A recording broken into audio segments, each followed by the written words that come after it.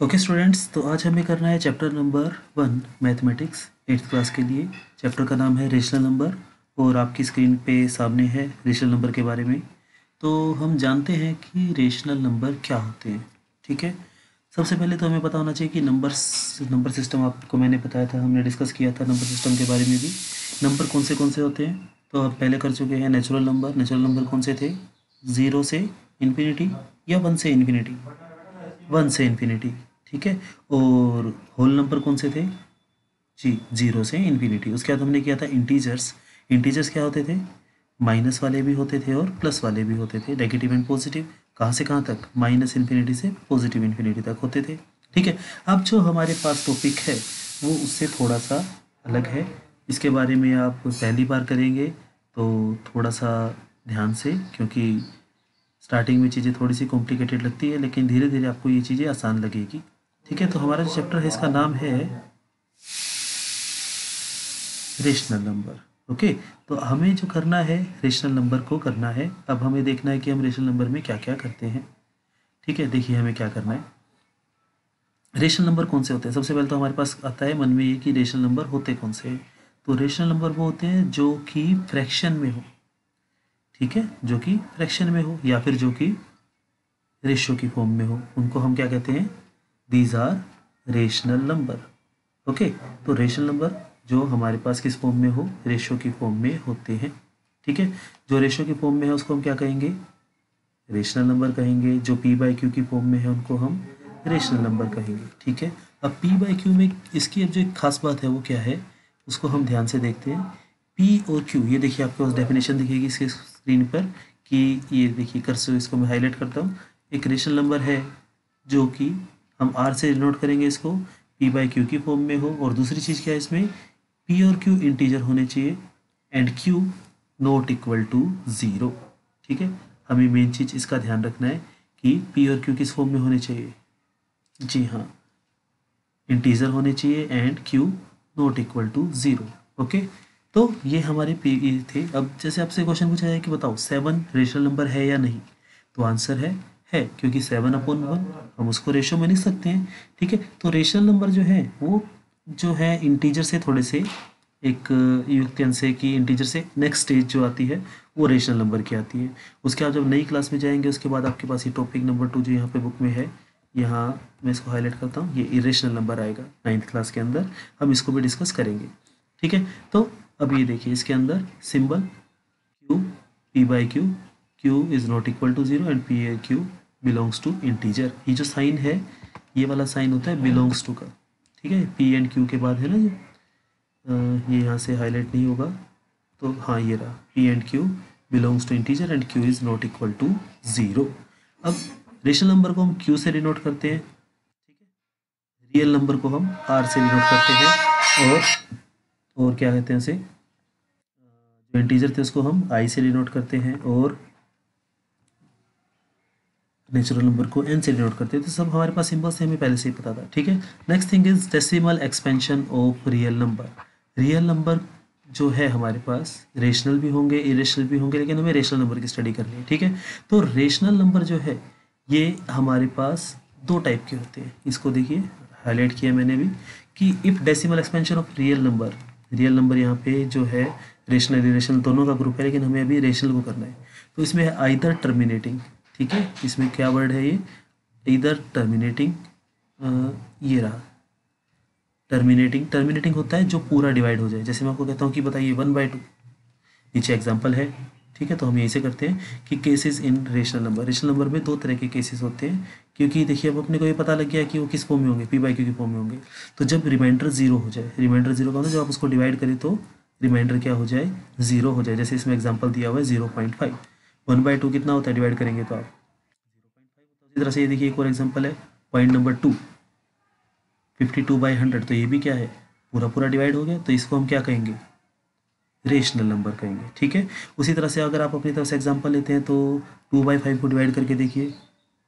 जी हाँ two by five zero point four आएगा। आगे डिवाइड नहीं हो रहा, आगे ज़ीरो आ चुका है रिमाइंडर तो उसको हम कहते हैं टर्मिनेटिंग टर्मिनेटिंग मतलब जिसको टर्मिनेट क्या होता है? ख़त्म हो जाना। तो इसका डेसिमल के बाद ये ख़त्म हो जाते हैं ठीक है एक पर्टिकुलर पॉइंट के बाद एक पर्टिकुलर केस में उसके आते हैं जब इसका रिमाइंडर कभी ज़ीरो हो ही ना ऐसे भी केस आते हैं देखिए जिसे नीचे लिखा हुआ वन बाई थ्री को आप डिवाइड करेंगे तो क्या आएगा zero point three three three three three three three three बार बार आएगा तो उसको रिप्रेजेंट करने का सिंपल सा तरीका है थ्री के ऊपर हम बार लगा देते हैं ठीक है ये देखिए थ्री के ऊपर एक ऊपर जो है एरो लगा हुआ है एरो नहीं ये एक बार का साइन कहते हैं इसको, ठीक है?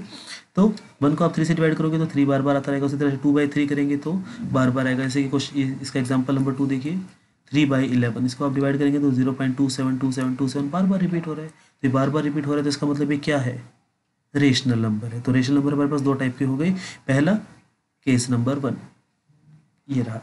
जब उसका रिमाइंडर ज़ीरो हो जाए, और दूसरा, जब उसका रिमाइंडर ज़ीरो ना हो। ओके तो ये चीज़ें हैं जो हमें याद रखनी है कि आप इसको कर पाएँगे। ठीक है तो एक बार आप इसको अपनी लैंग्वेज में नोट कर लीजिए। मैं इसको स्क्रीन को यहाँ पे एक बार रोक देता हूँ। ये लीजिए। तो केस नंबर वन लिखिए पहले, फिर अपनी तरफ़ से एग्जांपल ये जो एग्जांपल इसमें दिए हुए इसके अलावा कोई और एग्जांपल लिखिए। जी। ओके, और रिमाइंडर जब नोट बिकम ज़ीरो आप इसको पोज करके एक बार आराम से लिख सकते हैं। हम आगे बढ़ते हैं। तो उसके बाद अब ये देखिए ये कुछ खास पॉइंट है इसके अंदर। Every integer is rational number क्या हर इंटीजर रेशनल नंबर है? आंसर है यस लेकिन क्या हर रेशनल नंबर इंटीजर है? आंसर है may be may be not क्योंकि इंटीजर क्या होता है? मान लीजिए मैं कहता हूँ सेवन इंटीजर है ऑफ़ कोर्स मैं कहता हूँ सेवेंटी फाइव इंटीजर है ऑफ़ कोर्स मैं कहता हूँ माइनस थर्टी सेवन इंटीजर है। यस क्योंकि इंटीजर क्या होते थे? प्लस और माइनस दोनों होते थे। अब इंटीजर और रेशनल क्या सेम है? अलग। तो आंसर है कि रेशनल उसकी बड़ी कैटेगरी है, जिसके अंदर इंटीजर भी आते हैं। तो क्या मैं 75 को 75 फाइव अपॉन वन लिख सकता हूँ? बिल्कुल क्या 150 फिफ्टी अपॉन टू लिख सकता हूँ? बिल्कुल लिख सकते हैं। तो रेशनल नंबर में हमें ध्यान क्या रखना है? कि रिमाइंडर या तो ज़ीरो आएगा या रिपीट करेगा। ठीक है? और दूसरी चीज़ कि उसकी डिवाइड में कुछ ना कुछ होना चाहिए। डिवाइड में ज़ीरो ना हो ये इसकी डेफिनेशन थी रियल नंबर ये रेशनल नंबर की। तो एक बार आप डेफिनेशन को भी फिर से नोट कीजिए। ये रहा। ये रेशनल नंबर की जो डेफिनेशन है, मैं इसको हाईलाइट कर देता हूँ। सिम्बोलिकली तक कंप्लीट आप इसको नोट कर लीजिए। सेम ठीक है? ओके तो उसके बाद हमें आता है, अब मैं कहता हूँ कि क्या हर रेशनल नंबर भी इंटीजर होगा? मैं कह सकते हैं कि यस पॉसिबल है। कुछ होंगे, कुछ नहीं होंगे। मैं कहता हूँ कि आप बताइए ten by two ten by two integer भी है और रेशनल भी है। कैसे? क्योंकि आप उसको सोल्व करेंगे तो फाइव बचेगा। लेकिन टेन बाई थ्री तो पॉइंट्स में आएगा तो पॉइंट्स में आएगा तो इंटीजर नहीं होगा, क्योंकि इंटीजर की डेफिनेशन क्या थी? पॉजिटिव और नेगेटिव क्या उसमें पॉइंट के बारे में कोई बात की थी? नहीं की थी। इज़ इस ओके ठीक है तो there are infinitely many rational number हमारे पास कितने नंबर हो सकते हैं? दो नंबर के आंसर है इनफाइनाइट नंबर हो सकते हैं। बहुत सारे नंबर होंगे रेशनल और इरेशनल के बीच में। ठीक है, अब इसके अंदर एक केस दिया हुआ है हमें तो x and y are two rational number ठीक है एक्स और वाई हमारे पास दो रेशनल नंबर है तो क्या होगा? एक्स और वाई को ऐड करोगे तो रेशनल आएगा। एक्स और वाई को माइनस करोगे तो भी रेशनल आएगा। एक्स और वाई को मल्टीप्लाई करोगे तो भी रेशनल आएगा और एक्स और वाई को डिवाइड करोगे तो भी रेशनल आएगा। लेकिन कंडीशन है कि वाई की वैल्यू ज़ीरो नहीं होनी चाहिए, क्योंकि अभी इस चीज़ के ऊपर रिसर्च चल रही है। मैथमेटिक्स में टिल नाउ आज की डेट तक ज़ीरो से डिवाइड पॉसिबल नहीं है। ज़ीरो से डिवाइड को हम नॉट डिफाइंड बोलते हैं। ओके तो ये सारी की सारी जो हमने छोटी छोटी बातें की हैं, ये है रेशनल नंबर के बारे में। ठीक है? तो ये आपको पता होना चाहिए। द नेक्स्ट थिंग इज़ क्या आता कोई डाउट है? आप इसको एक बार नोट कर सकते हैं जो चार पॉइंट है। अब हमने जो इंटीजर में पढ़ा था इंटीजर में आपने पढ़ा था कि अगर ए और बी एक्स और वाई अगर इंटीजर है, उन दोनों को ऐड करेंगे तो इंटीजर आएगा, उन दोनों को माइनस करेंगे तो इंटीजर आएगा, उन दोनों को मल्टीप्लाई करेंगे तो इंटीजर ही आएगा, लेकिन उन दोनों को डिवाइड करेंगे तो इंटीजर आ भी सकता है और नहीं आ सकता। ठीक है? लेकिन यहाँ पर अगर आप इनको डिवाइड करोगे तो रेशनल ही आएगा। ये है फ़र्क रेशनल नंबर और इंटीजर में। इंटीजर के लिए वीडियो मैं आपको शेयर कर दूँगा। एक बार आप उसको भी देख सकते हैं ताकि इंटीजर की नॉलेज भी आपकी आ जाए। ओके इज़ दिस ओके ठीक है। उसके बाद हमारे पास है। तो ये था हमारा रेशनल नंबर के बारे में। ठीक है? यहाँ तक किसी को कोई डाउट है? ओके तो हम इसको करते हैं बंद और नई वर्कशीट पर चलते हैं। ठीक है। उसके बाद आता है हमारे पास ये जो इसके अलग अलग डेफिनेशन है। फ़र्स्ट पॉइंट देखिए rational number are close under the operation of addition subtraction and multiplication इसका मतलब है कि अगर आप दो रेशनल नंबर को ऐड करेंगे तो रेशनल मिलेगा। दो रेशनल नंबर को माइनस करेंगे तो रेशनल ही मिलेगा। दो को मल्टीप्लाई करेंगे तो भी रेशनल ही मिलेगा। और दो को डिवाइड करेंगे तो भी रेशनल मिलेगा। लेकिन कंडीशन क्या थी? जी हाँ कि उसका न्यूमिनेटर कुछ भी हो सकता है, लेकिन डिनोमिनेटर ज़ीरो नहीं होना चाहिए। ठीक है? Is this okay the next thing is आपने पढ़ा है कॉम्यूटेटिव प्रॉपर्टी एसोसिएटिव प्रॉपर्टी ठीक है? तो ये दोनों प्रॉपर्टीज़ रेशनल नंबर में भी लगती है। तो कॉम्यूटेटिव क्या था? A plus b is to b plus a और एसोसिएटिव था शायद a plus b a plus bracket start b plus c और इज़ टू में a plus b in the bracket plus c तो आप उसको सेवन्थ क्लास में कर चुके हैं। आप सेवन्थ क्लास की बुक एक बार उठा लीजिए साथ में, ताकि इंटीजर आप एक बार रिवाइज कर लें, ताकि आपको ये सारी चीज़ें याद रहे, ठीक है? अब उसमें हमने किया था एडिटिव आइडेंटिटी यानी ऐसा नंबर जिसको ऐड करे, कोई फ़र्क ना पड़े तो ऐसा ज़ीरो ही है, ओके? उसी तरह से ऐसा नंबर जिसको मल्टीप्लाई करे और नंबर में कोई फ़र्क ना पड़े तो वन तो ये मल्टीप्लीकेटिव आइडेंटिटी है, ठीक है? एडिटिव इनवर्स होता है, एक ऐसा नंबर जिसको ऐड करने पे आंसर ज़ीरो आ जाए, ठीक है ना? ऐड करने पे आंसर ज़ीरो आ जाए। अब ये जो स्टेटमेंट है, इसमें एक मिस्टेक है आप इस मिस्टेक को सोचिए। पाँच सेकेंड का टाइम है आपके पास। स्क्रीन को पोज कीजिए और अपनी तरफ़ से सोचिए जितना टाइम आपको लगता है। जी हाँ एडिटिव इनवर्स में क्या होता है कि अगर एक प्लस है तो दूसरा माइनस होगा। तो यहाँ पे माइनस का साइन आएगा। एडिटिव इनवर्स जैसे मैं कहता हूँ कि सेवन में ऐसा क्या ऐड करें कि ज़ीरो आ जाए? माइनस सेवन उसी तरह सेवन बाई फाइव में ऐसा ऐड क्या ऐड करें कि ज़ीरो आ जाए? तो माइनस का सेवन बाई फाइव ठीक है? The reciprocal of multiplicative inverse of the rational number is one यानी कि एक ऐसा नंबर है जैसे मान लीजिए मैं कहता हूँ कि टू बाई थ्री एक नंबर है, उसको किससे मल्टीप्लाई करूँ कि बन जाए? तो टू बाई थ्री को किससे मल्टीप्लाई करें? उसका उल्टा कर दो रेसिप्रोकल तो two by three multiply three by two three से थ्री कट जाएगा टू से टू कट जाएगा। तो आंसर क्या आया?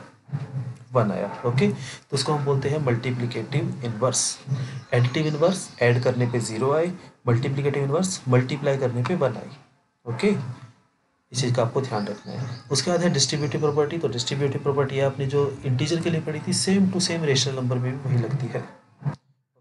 उसके बाद आता है कि रेशनल नंबर को हम लाइन पे रिप्रेजेंट कर सकते हैं आंसर बिल्कुल कर सकते हैं। आप टू को लाइन पे रिप्रेजेंट कर सकते हैं, कर सकते हैं थ्री को, बिल्कुल क्या थ्री पॉइंट फाइव को भी कर सकते हैं? बिल्कुल कर सकते हैं। तो इसके लिए आपको स्केल यूज़ करना है तो स्केल के अंदर जो है ना थ्री और फोर के बीच में टेन डिविजन है। नाइन डिविजन तो उसके अंदर हम फाइव पे मार्क करेंगे तो थ्री पॉइंट फाइव हो जाएगा।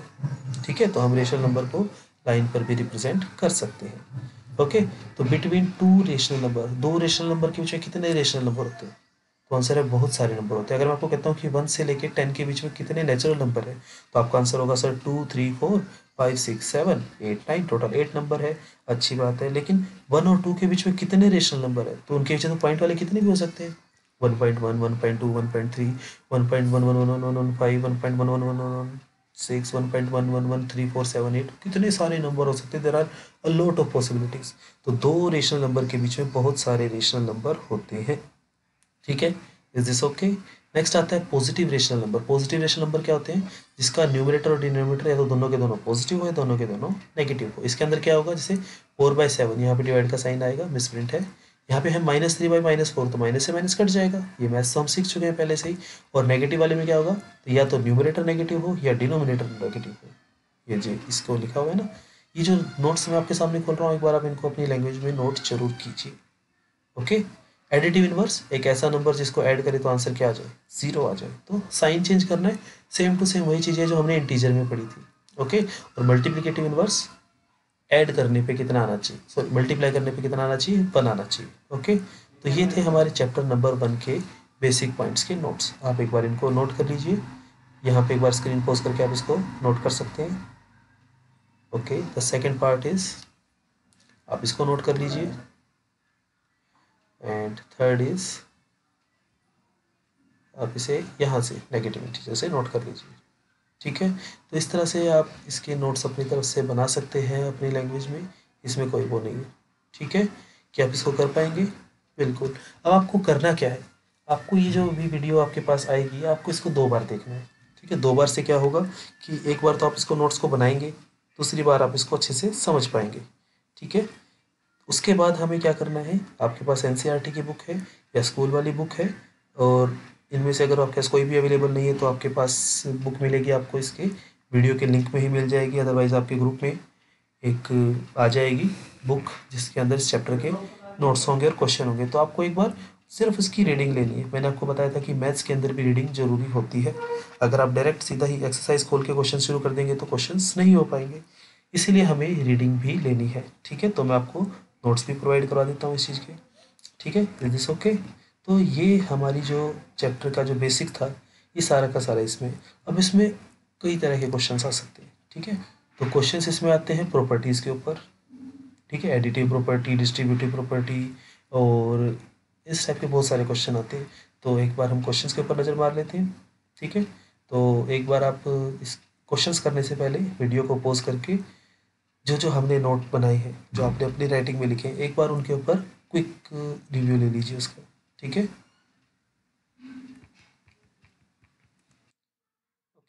देखिए, हमारे पास कुछ क्वेश्चन है।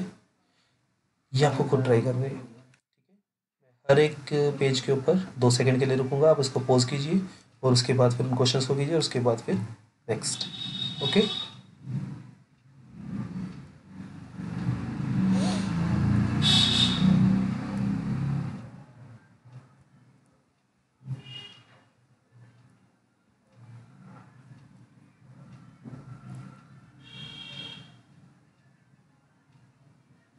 आप इन क्वेश्चंस को ट्राई करते रहें साथ के साथ और इनको पहले नोटबुक में ट्राई कीजिए और उसके बाद अपनी असाइनमेंट वाली नोटबुक में भी इसको साफ़ साफ़ क्योंकि मैथ्स प्रैक्टिस से भी प्रैक्टिस मैथ में बहुत ज़्यादा ज़रूरी है ठीक है? रीडिंग भी एंड प्रैक्टिस भी ओके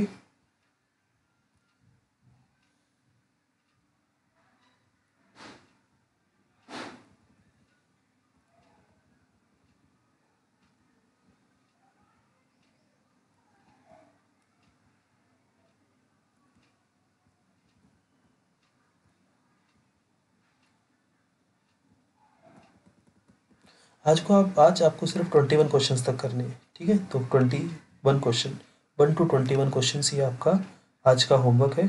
इनके अच्छे से प्रैक्टिस कीजिए और जो डाउट आता है आप उसको डिस्कस करेंगे।